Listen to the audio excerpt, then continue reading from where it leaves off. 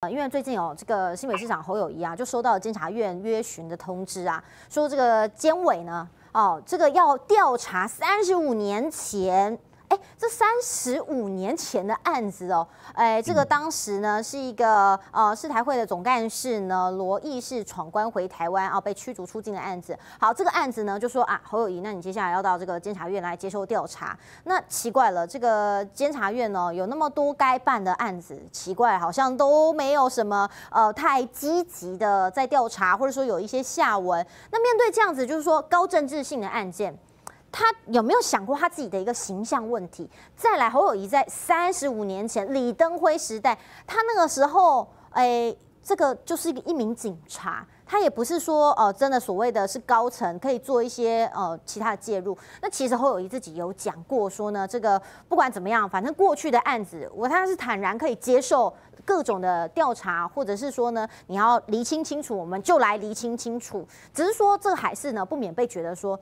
这个。目的性啊，政治性啊，真的是太强了，也被质疑说是不是拿明朝的剑在斩清朝的官呢？这件事情怎么看？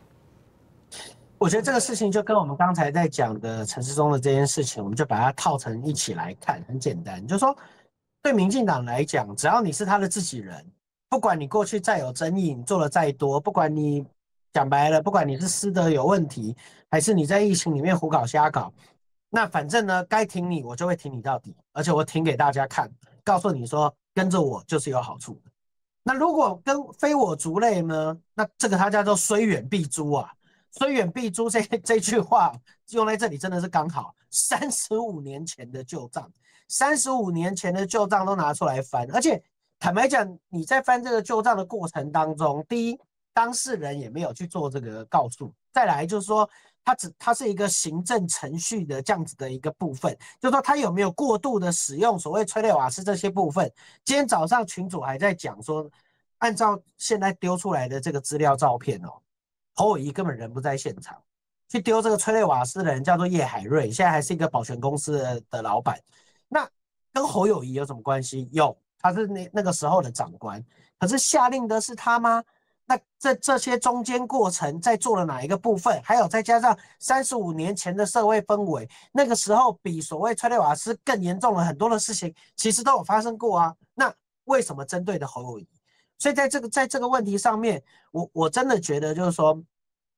民进党现在就告诉你一件事：今天他在八年之后破除了台湾八年政党轮替的魔咒以后，他告诉大家一件事。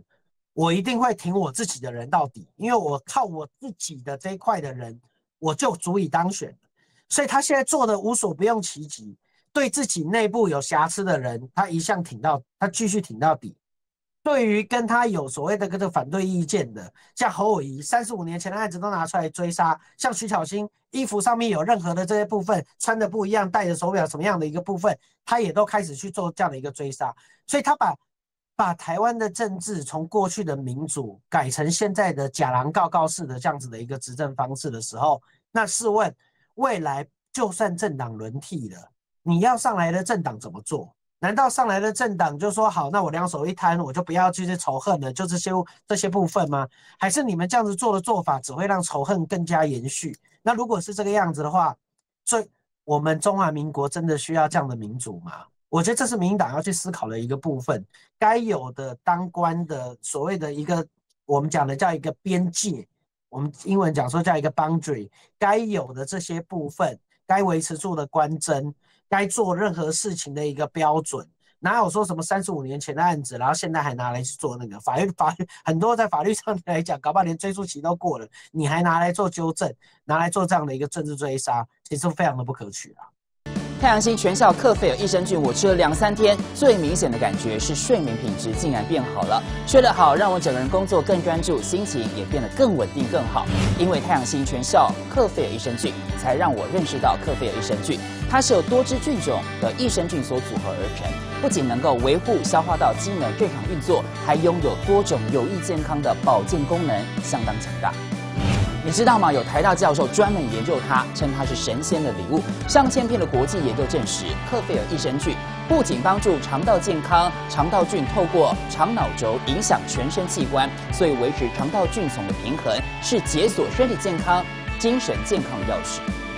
对帮助睡眠、维持好情绪真的很有感。也因为这不是药，有季节敏感、代谢困扰、关心恶性细胞风险的好朋友，选择太阳星全效克菲尔益生菌，做好日常的保养，身体健康没负担。每日克菲尔，时刻美好，Good Feel Feel Good，请上快点购健康下单，输入推荐代码有额外的折扣。